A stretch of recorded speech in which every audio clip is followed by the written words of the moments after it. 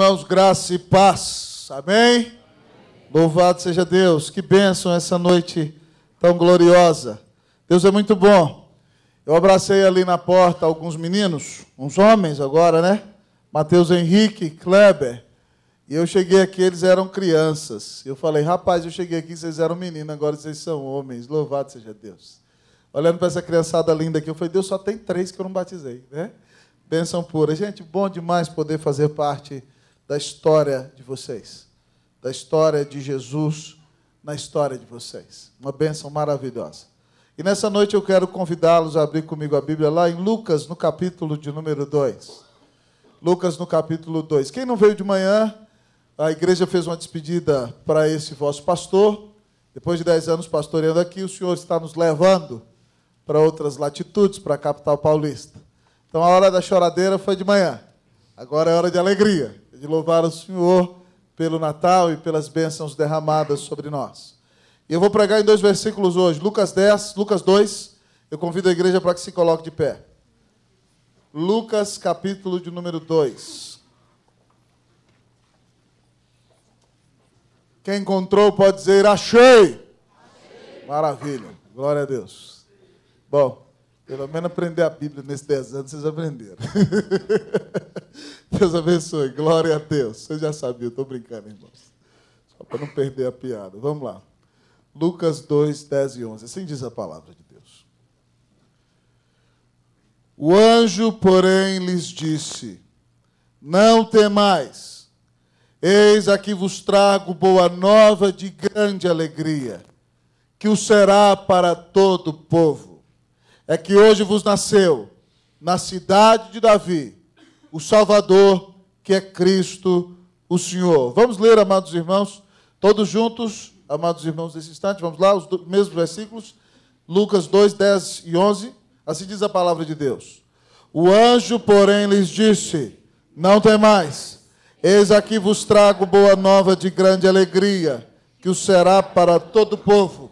É que hoje vos nasceu na cidade de Davi, o Salvador, que é Cristo, o Senhor. Pai, toda a glória seja dada ao teu nome, porque só tu és Deus. Obrigado pelo teu maravilhoso amor manifesto a nós na pessoa de Jesus.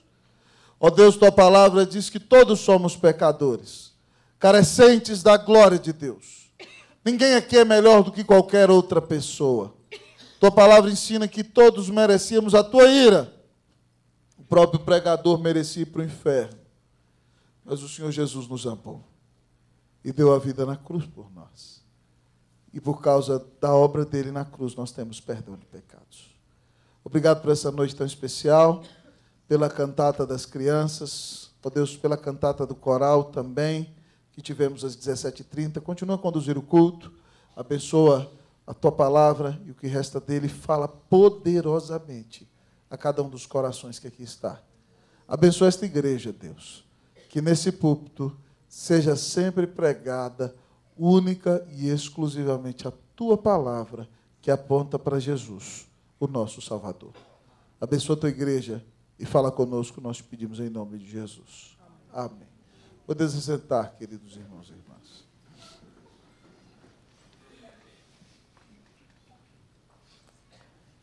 Queridos irmãos e amigos que aqui nos visitam nessa noite, eu contei isso às 17h30. Quando o homem, amados irmãos, chegou na Lua, no ano de 1969, aconteceu algo muito interessante.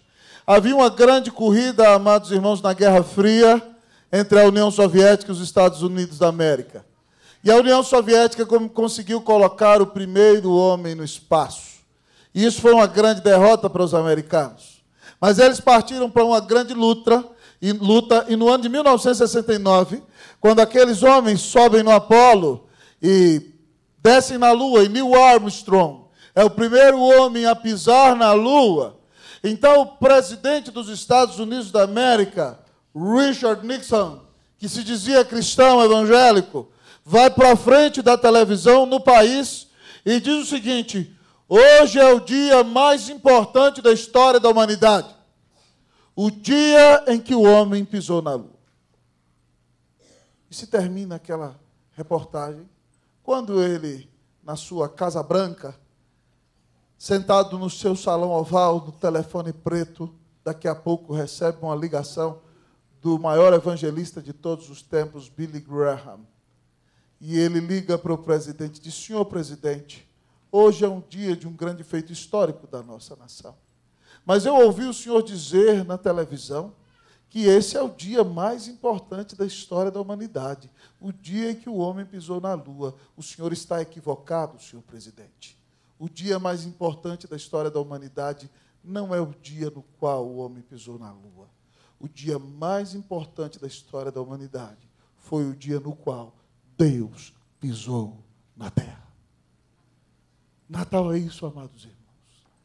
Deus se fazendo homem sem deixar de ser vivendo uma vida de obediência e no auge da sua vida, Deus, homem, Jesus Cristo, dá sua vida na cruz para pagar os teus pecados, os meus, os pecados de todos aquele que nele creem.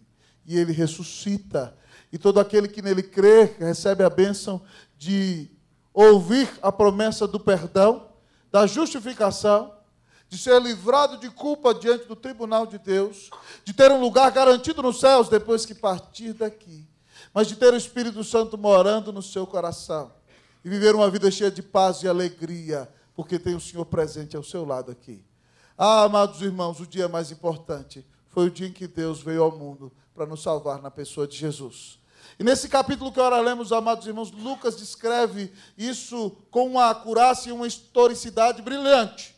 Ele diz que Deus usa, amados irmãos, César Augusto para fazer, amados irmãos, nos dias em que Quirino era governador da Síria, com que todo o povo do seu império voltasse para a cidade de origem da sua família para se recensear, para que fosse mais fácil a cobrança de impostos para os romanos. Então José e Maria voltam, amados irmãos, mas eles nem sabiam que estavam cumprindo a profecia, que o Messias teria que nascer em Belém. E eles chegam ali, irmãos, e a Bíblia nos conta que o próprio Filho de Deus não teve lugar na hospedaria. Não havia lugar para ele.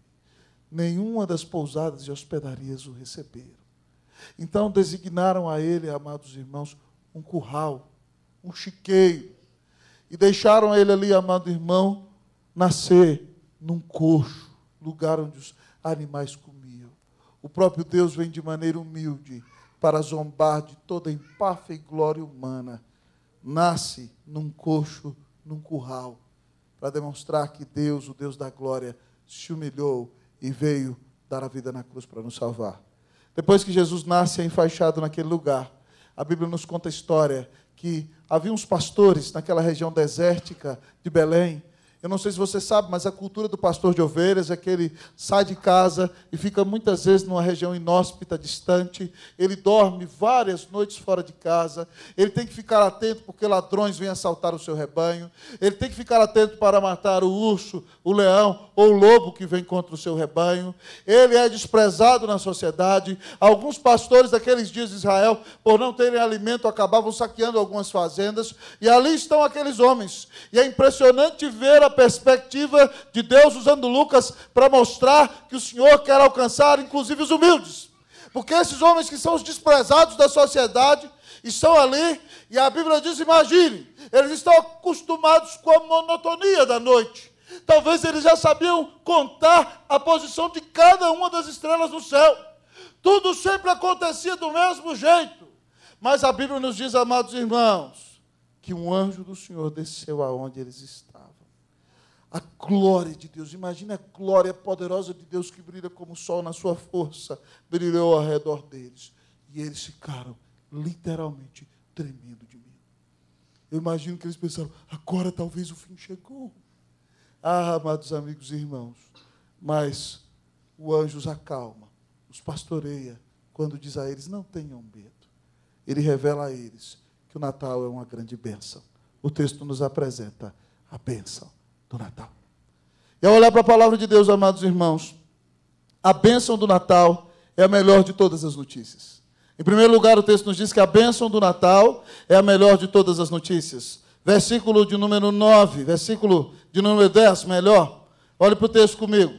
O anjo, porém, lhes disse: Não temais.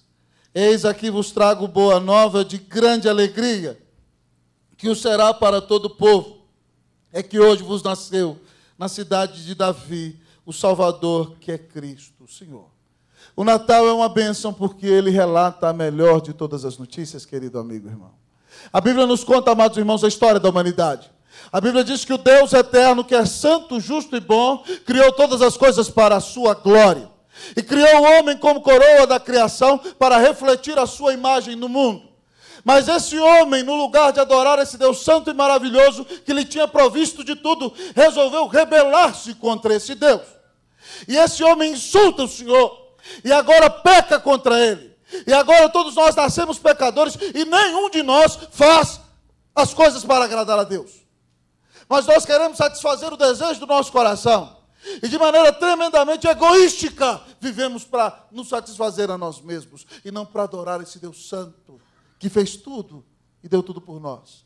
Ora, querido amigo e irmão, se esse Deus é justo, ele tem que nos punir. Porque se nós o rejeitamos, o insultamos, não fazemos o que a sua palavra diz, se ele é justo, como ele diz que é na Bíblia, alguém tem que pagar o que nós fizemos. Imagine, querido amigo e irmão, que você está aqui nesse culto e vai chegar o dia de Natal e toda a sua família vai estar reunida e de repente alguns traficantes invadem seu prédio, entram no seu apartamento, metralham todos os homens, certo? Sobra só você e eles abusam sexualmente das mulheres e de repente você se esconde, chega o dia do julgamento, eles são presos. E aí chega lá no julgamento, o juiz vai e fala assim: eles têm bom comportamento. Eles deram cesta básica durante um ano no asilo de velhinhos lá do núcleo bandeirante. Eles não precisam ser condenados. Eu os declaro inocentes. Estão livres, não precisam ser presos. O que você faria na situação? Você gritaria, você insultaria o juiz. Você fala, que maluquice é essa? Isso é injustiça. Meu querido amigo irmão, não é porque você deu cesta básica para alguém, não é porque você cuidou do seu pai de sua mãe, ou deu um dinheiro porque alguém estava precisando, que você merece para o céu. Sabe por quê? Porque você pecou contra um Deus santo.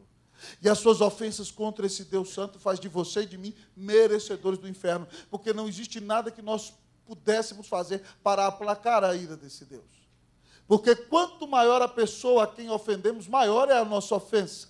Então somente alguém do tamanho de Deus poderia pagar essa grande dívida. Se eu morresse eternamente, eu não pagaria a minha dívida, nem a sua. Tinha que ser alguém do tamanho de Deus. E esse alguém é um que é Deus com o Pai desde a eternidade. Mas tinha que ser homem, porque foi o homem quem pecou. E por causa disso, Jesus Cristo veio ao mundo e é Deus homem e deu a vida na cruz do seu lugar. Para que, se você se arrepende dos seus pecados e crê no Senhor Jesus como seu Salvador, você receba o perdão de Deus.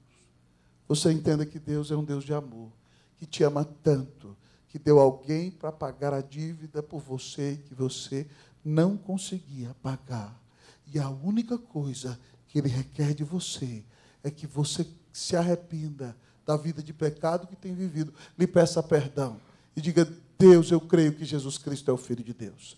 Eu não posso te agradar, mas ele te agradou no meu lugar. E a Bíblia diz que se você crer nesse Senhor assim, você entendeu essa boa notícia que os anjos, que o anjo deu aos pastores, que nasceu o Salvador, o Cristo, o Senhor. Essa é a melhor de todas as notícias. Essa notícia diz que se você tombar hoje, se você creu em Jesus, você vai para o céu. Agora, se você não creu em Jesus, você vai para o inferno. Ninguém é melhor do que, o, do que o outro. Todos merecem para o inferno. Mas só entra no céu aquele que creu que Jesus Cristo é o Filho de Deus, que deu a vida na cruz para lhe salvar. Não há outros mediadores. Não adianta nenhuma imagem deu a vida por você na cruz. Nenhum falso espírito deu a vida por você na cruz. Só quem te salvou foi Jesus. Então creia nele. E a Bíblia diz que se você crer nele, você será perdoado, você será reconciliado, você será salvo. Você ouvirá Deus dizer no seu tribunal: Eu te declaro justo, em nome do meu filho Jesus Cristo. Ah, que notícia maravilhosa! É a notícia do Natal. Louvado seja Deus por tão grande salvação que nos dá. Amém, meu querido amigo e irmão? Amém. Que você seja perdoado por esse Deus, reconciliado com Ele, porque Ele amou ao mundo de tal maneira que deu o seu Filho unigênito, para que todo aquele que nele crê não pereça, mas tenha a vida eterna. Creia em Jesus e você será perdoado, será justificado, estará salvo terá paz com Deus e não terá mais angústia no peito e na alma, mas viverá abençoado e feliz na presença do Senhor. Que Deus te visite nessa noite, amém? amém? Que essa melhor de todas as notícias transforme seu coração e abençoe a sua vida. O Natal é uma bênção, porque ele é a melhor de todas as notícias. Mas o texto continua dizendo para nós que o Natal é uma bênção. E ele nos apresenta a bênção do Natal. E o Natal é uma bênção porque nos dá alegria. O Natal é uma bênção porque nos dá alegria. Olhe para o versículo. O anjo, porém, lhes disse: Não temais, eis aqui vos trago boa nova de grande alegria, que o será para todo o povo. Queridos amigos e irmãos, Deus sabe que no meu peito e no seu, como dizia o grande pensador Pascal, há um vazio do tamanho de Deus. E, portanto, amigo e irmão, ninguém pode preencher esse vazio. Sexo não preenche esse vazio. Dinheiro não preenche esse vazio. Glória não preenche esse vazio. Reconhecimento humano não preenche esse vazio. Todas as pessoas que idolatram o sexo, que é bênção de Deus dentro do casamento, amados amigos e irmãos, elas se colocam em idolatria, elas se angustiam. Se alguém idolatra o dinheiro, amado irmão, se perde. Quem idolatra seu próprio nome, sua própria glória, se perde, se entristece e vive deprimido. Vive em depressão, mas se você, meu amado amigo e irmão, quer ter real alegria, você precisa que Deus preencha o vazio do seu coração, que é do tamanho de Deus. E Deus preencherá esse vazio da sua alma quando você crer em Jesus e o Espírito Santo vier morar no seu peito. Então você terá o que a Bíblia chama de verdadeira alegria. Ora, pois, veja o próprio contexto, nos mostra como essa alegria é intensa. O anjo, amado irmão, depois que dá a notícia aos pastores, olha o que diz o texto que acontece aqui, versículo de número 13, eu vou ler o 13 e vocês o 14. E subitamente apareceu com o anjo uma multidão da milícia celestial milhares de anjos, louvando a Deus e dizendo: Vocês o 14.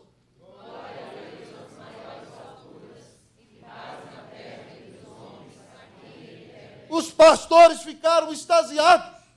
Uma grande festa espiritual. Milícias celestiais dando glória a Deus e se alegrando, porque Deus se fez homem e veio salvar o seu povo.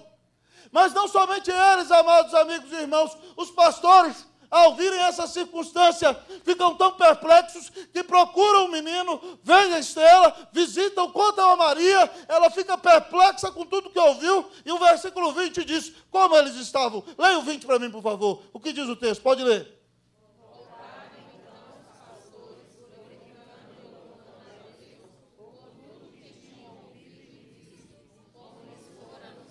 Eles voltaram glorificando, louvando eles eram homens desprezados pela sociedade, mas amados por Deus. E eles encontraram a real alegria. Ah, querido amigo irmão, a nossa alegria não pode estar em dinheiro. Você morre e todo o seu dinheiro fica aqui. E seu filho ou alguém que vai dar o dinheiro pode acabar com tudo num segundo. Ah, querido amigo irmão, nós amamos nossa saúde e temos que cuidar dela. Mas um dia nossa saúde acaba. Eu já não tenho mais a mesma saúde do que quando do que quando tinha 20 anos, agora chegando perto dos 40. Não é mais a mesma coisa. A nossa alegria não pode estar na esposa. A gente ama a esposa e cuida dela e dá a vida por ela. Mas a esposa vai pecar. E se eu colocar a esposa no lugar de Deus, eu vou idolatrá-la. E no dia que ela pecar, pecar, eu vou ficar maluco. Ela não pode suprir o vazio do meu coração. Eu não posso querer fazer dos meus filhos perfeitinhos. Porque se eu botar uma pressão neles, no dia em que eles tiraram uma nota ruim na escola, eu vou querer esmagá-los. Porque eu acho que sou valoroso pela nota que eles tiram na escola e vou oprimi-los. Isso está errado. É idolatria. Nós só vamos ter alegria e paz no coração quando nós entendemos que de, entendermos que Deus nos perdoou, Deus nos amou, nós estamos em paz com Ele, nós não temos dívida nenhuma, nós vivemos em alegria na sua presença. Ô oh, querido, se você precisa de alegria, diga hoje: Jesus, vem morar no meu coração, vem encher minha vida com a tua presença. Só Deus pode dar a real alegria. E amado irmão, quem crê em Jesus verdadeiramente é feliz, tem alegria, porque tem o próprio Deus morando no seu coração, porque tem paz com Deus, porque tem a certeza e a promessa do Senhor que disse: Nunca te deixarei, jamais te abandonarei. Se você crer em Jesus, você será uma pessoa abençoada e alegre. E mesmo no dia da adversidade, você não vai desesperar nem acabar com a sua vida, porque você tem significado, é amado. Jesus deu a vida por você. Se alegre hoje no Senhor. Que esse Natal seja um tempo de alegria para você, um tempo de louvor, um tempo de adoração, um tempo de gratidão pela grande salvação que você recebeu, meu querido cristão. Que Deus te abençoe, meu querido irmão, em nome de Jesus. Amém? Amém. Louvado seja Deus. Mas o texto continua a dizer para nós: o Natal é uma bênção. Por que o Natal é uma bênção, minha querida? Porque ele traz a melhor de todas as notícias, porque ele nos traz a verdadeira alegria, mas porque ele revela a fidelidade. O Natal é uma bênção porque ele revela a fidelidade. Ele revela a fidelidade de Deus. Eu vou ler, amados irmãos, versículo de número 11, depois vocês leem segunda vez. É que hoje vos nasceu, na cidade de Davi, o Salvador, que é Cristo, o Senhor. Você, meu irmão.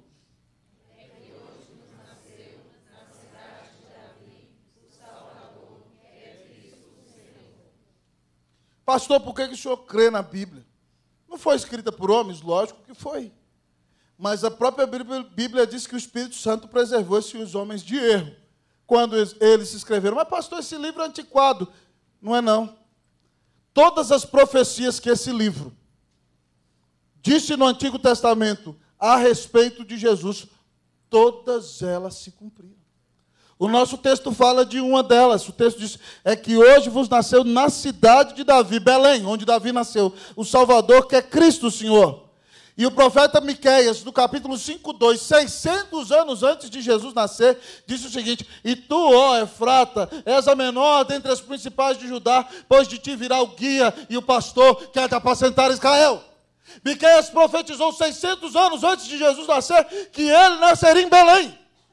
E por isso Deus moveu César Augusto, o maior imperador da humanidade, para fazer um recenseamento e inquiriram debaixo da autoridade dele, governando a Síria, para que José e Maria saíssem da Galileia e fossem a Belém, para que o Filho de Deus nascesse lá, para que nós entendêssemos que Deus é um Deus fiel.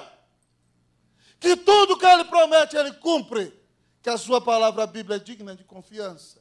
Ah, amados irmãos, essa mesma palavra diz lá Isaías 7,14, que o Senhor daria um filho para abençoar Israel. E o nome dele seria Emanuel, que significa Deus conosco. Jesus é o próprio Deus, feito homem, sem deixar de ser Deus. Em Isaías 9,6 também, outra profecia, 700 anos antes de Jesus nascer, porque um menino nos nasceu, um filho se nos deu, o governo está sobre os seus ombros e o seu nome será maravilhoso conselheiro, Deus forte, Pai da eternidade, príncipe da paz. Jesus veio ao mundo para salvar você, querido, e ele tem poder para salvar. Uma outra profecia que me impacta muito, irmãos, é aquela cena maravilhosa, em que Isaías conta melhor do que os evangelistas que viram a cena da crucificação. E ele viveu 700 anos antes de Jesus nascer. Ele conta, amados irmãos, que Jesus não era belo aos olhos dos homens. Ele diz que Jesus era rejeitado. O Senhor se agradou de moê-lo. E aí então ele diz, amados irmãos, contando da crucificação, ele diz em 53, 4, certamente ele tomou sobre si as nossas enfermidades. Nós vemos a cena. E as nossas dores ele levou sobre si. E nós o vimos como traspassado, ferido de Deus e abatido. Ah, amados irmãos, o texto diz que ele foi traspassado pelas nossas transgressões, moído pelas nossas iniquidades. O castigo que nos traz a paz estava sobre ele, e pelas suas pisaduras fomos sarados. Ele diz que nós andávamos desgarrados como ovelhas, mas o Senhor fez cair sobre ele o pecado de nós todos e por causa disso nós temos perdão. Nesse mesmo capítulo, falando da ressurreição, diz que ele estaria com o rico na sua morte. Jesus foi sepultado no sepulcro de um rico, José de Arimateia. Só os ricos tinham sepulcros na, sepulcros na pedra. E Jesus, Jesus foi sepultado naquele sepulcro novo, embalsamado por um dos homens mais ricos de Israel. O texto diz que ele esteve com o rico na sua morte. Mas o texto falando da ressurreição diz que ele veria o fruto do seu penoso trabalho e ele ficaria satisfeito. Ele diz: Com o meu conhecimento, o meu servo justo, com o seu conhecimento, o meu servo justo justificará muitos, porque a iniquidade deles levou sobre si. E Jesus ressuscitou, irmãos. E quando ele olha para todos os salvos do mundo inteiro, ele se alegra, porque você só tem perdão, salvação e vida eterna. Porque Jesus morreu na cruz por você. Tudo que a Bíblia prometeu, ela cumpriu. Esse livro, querido amigo, é muito confiável. E essa Bíblia promete hoje que se você se arrepender dos seus pecados, pedir perdão ao Senhor e crer no que a Bíblia diz em 1 Timóteo 2,5, é palavra de Deus, diz assim: há um só Deus e um só mediador entre Deus e os homens. Pode olhar que está lá. Jesus Cristo, homem. Ele mesmo disse de si: Eu sou o caminho, a verdade e a vida. Ele disse: Ninguém vai ao Pai senão por Ele. Então, se você quer o perdão de pecados, se você quer ter paz com Deus, se você quer ter a certeza da vida eterna, se você quer viver alegre nessa vida, você não tem a vida eterna pelo que faz, porque as nossas obras não podem nos salvar. É só a obra de Cristo que nos salva. E a Bíblia diz que se você crer nessa promessa, você será salvo, você será perdoado. O Natal acontecerá dentro do seu peito. E você entenderá e crerá que Deus é o Deus fiel. E será a pessoa mais abençoada da terra. Oh, amados amigos e irmãos, temos visto que o Natal é uma bênção. O Natal é uma bênção porque ele revela a melhor de todas as notícias. O Natal é uma bênção porque ele nos traz a maior de todas as alegrias. O Natal é uma bênção porque ele nos revela a grande fidelidade de Deus. Então, diante de toda essa cena, eu quero que você pense comigo. Imagine você no tribunal de Deus. E agora, imagine que se formou o tribunal de Deus aqui. E você está sentado nesse tribunal, querido amigo e irmão, no banco dos réus. E você já está sendo acusado pela sua própria consciência, porque não dá para apagar os pecados da nossa vida. Mas se levanta ali Apolion, o inimigo do povo de Deus, o caluniador, Satanás, o inimigo das nossas almas. E imagine que ele se levante já dizendo uma gargalhada: Deus, esse homem diz que te serve, diz que te ama, mas lá no trabalho dele ele anda se corrompendo e se envolvendo com coisas erradas. Ele diz que é uma bênção, que é piedoso, mas está saindo com outra mulher na hora do trabalho e a esposa dele nem sabe. Ah, ele diz que ama o Senhor, mas ele só quer agradar os prazeres da carne. Ele só pensa em ganhar dinheiro, ele só pensa em passar a perna nos outros. Ele diz que te louva. Eu não vejo Deus eterno, como o Senhor possa perdoá-lo? Lance-o no inferno. Ele está perdido, ele te odeia. É o que ele merece.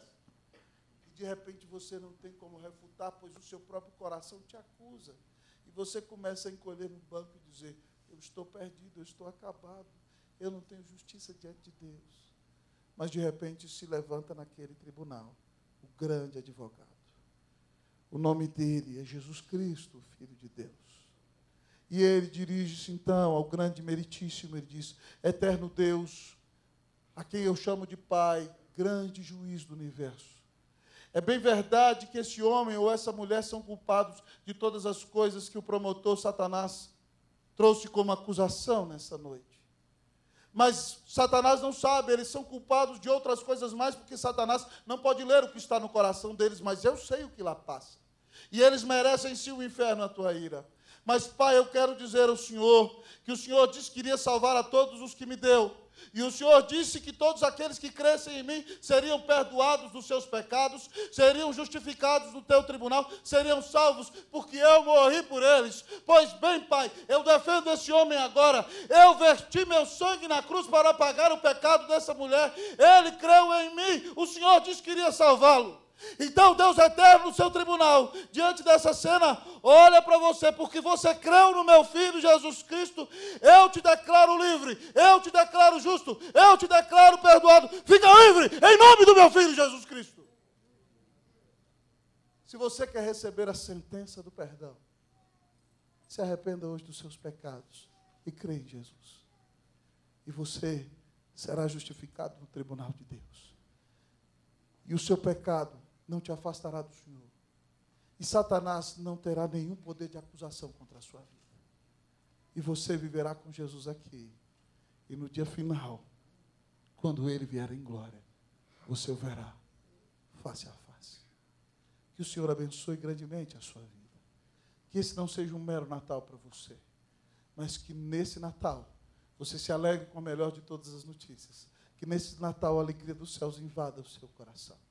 Que nesse Natal, que nesse Natal você reconheça que Deus é fiel e se entregue a Ele. E nunca mais viva longe do Senhor, mas viva perdoado e abençoado por Ele. Que Deus te visite com salvação, com alegria, com fidelidade, com grande bênção nesse Natal. Que Deus te abençoe em nome de Jesus. Amém. Eu quero orar por você. Quero convidar toda a igreja a fechar os olhos nesse momento, a baixar a cabeça. Se humilhar diante do Deus eterno. Se você ouviu essa notícia e diz: Deus, o Natal é uma benção. Deus, eu quero que essa melhor notícia invada meu coração. Deus, eu quero me alegrar no Senhor. Quero ser feliz. Estou cansado dessa vida triste, de depressão e angústia. Ah, meu querido amigo e irmão, se você ouviu essa palavra, diz Deus, eu confio que tu és fiel. Eu quero esse perdão, essa salvação, essa alegria, essa paz.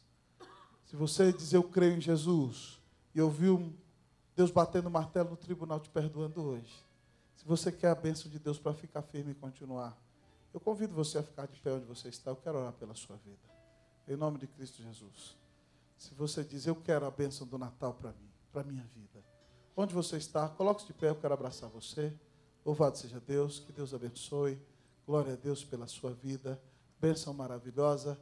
Alguém mais que quer essa alegria, que quer essa melhor notícia, que quer essa paz, essa fidelidade em seu coração, por favor, coloque-se de pé. Nós queremos abraçar você. Louvado seja Deus pela sua vida, que é entregue nas mãos do Senhor nesta noite. Glória a Deus. Aleluia. Louvado seja Deus, os irmãos da galeria, as pessoas que nos visitam. Louvado seja Deus por você. Vamos orar. A Bíblia diz que a alegria nos céus quando um pecador se arrepende. Se você se arrependeu hoje, os anjos estão soltando foguete. E Deus se alegra com o que Ele está realizando em você. Vamos orar. Querido Deus eterno Pai, nós te louvamos nesta noite pela tua palavra pregada aqui. Nós te louvamos, Deus, porque o evangelho pregado aqui tem dado fruto há muitos e muitos anos. E hoje, Senhor, há pessoas que entendem a bênção do Natal quando ouvem a tua palavra. Deus, obrigado por essa notícia tão maravilhosa. De que Jesus veio para nos salvar. E obrigado, Deus, porque essas pessoas são cheias da alegria do céu. Senhor, que a alegria do Espírito Santo invada essas vidas para nunca mais deixar. Ó oh, Deus, em nome de Jesus, Pai, alegria de ser perdoado. E que esses irmãos e irmãs creiam na tua palavra, creiam na promessa do Evangelho, creiam que o Senhor é fiel, creiam que o Senhor deu a vida na cruz por eles. E que se eles crerem em Ti, há perdão, a alegria, a paz a bênção na tua presença. Deus, tira todo o peso da culpa dos ombros do teu povo, porque o Senhor já nos justificou pela graça mediante a fé. Este teu povo de alegria, e que esse povo entenda que agora o Natal não vai ser somente dia 25 de dezembro. Vai ser sim nesse dia, mas nós vamos viver em constante estado de Natal, porque Jesus veio ao nosso coração para nunca mais sair. Abençoa teu povo, abençoa essa igreja Abençoa aqueles que creram em Jesus nessa noite. Toma-os no teu colo, Deus, que eles possam ser instruídos pelo Senhor. Que eles se firmem na tua presença. Que eles conheçam o Senhor do Natal. Deus abençoa-os. Nós te pedimos em nome de Jesus. Amém. Podeis sentar, queridos amigos e irmãos.